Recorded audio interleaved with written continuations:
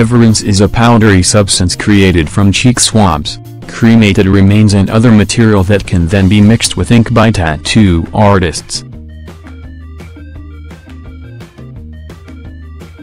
The substance was developed by Patrick Duffy, 40, and Endeavor Life Sciences based in Quonset, Rhode Island, after he was inspired by a military widow's ink. The feeling of wanting to keep someone with you always is something most people can relate to. But now, a number of people have started taking that to an extreme thanks to Everence, a substance created from human DNA that is being mixed with ink for tribute tattoos. The product was developed by Patrick Duffy's Endeavor Life Sciences, based in Quonset, Rhode Island after he was inspired by a tattoo on the leg of a Navy SEAL's widow. Duffy, 40, who was running a scuba diving therapeutic program for military veterans at the time in Key Largo, was moved by the woman's tribute, reports New York Times. Four years later, Duffy and his colleagues have created a unique way of incorporating DNA into tattooing so that people can carry a little piece of their loved ones with them always. The company has built on previous biogenic tattooing methods including using cremated ashes in hair and tattoos. So-called morbid ink is has long been around, practiced by underground artists.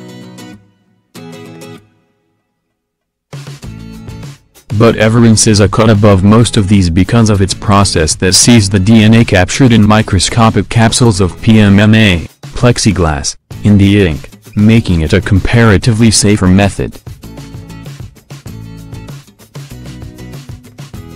The non-biodegradable polymer keeps the genetic material from actually absorbing into the skin, keeping the immune system from recognizing its presence.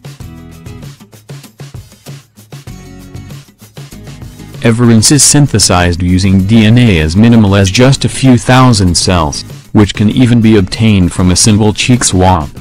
Once it is turned into the light, powdery substance, it can be taken to an artist and added to inks before tattooing. It is best to always keep in mind however, that risks always exist in tattooing. Currently, tattoo ink is classified as cosmetic by the FDA, which means it isn't regulated. The complicated process isn't a cheap one, with one vial costing $675 including the DNA retrieval kit and the powder making process. Duffy has already found tattoo artists keen to take on the idea, as well as medical professionals ready to vouch for the ink's safety. Duffy himself already has one of the tattoos, a flock of flying birds made with Everence from his daughter.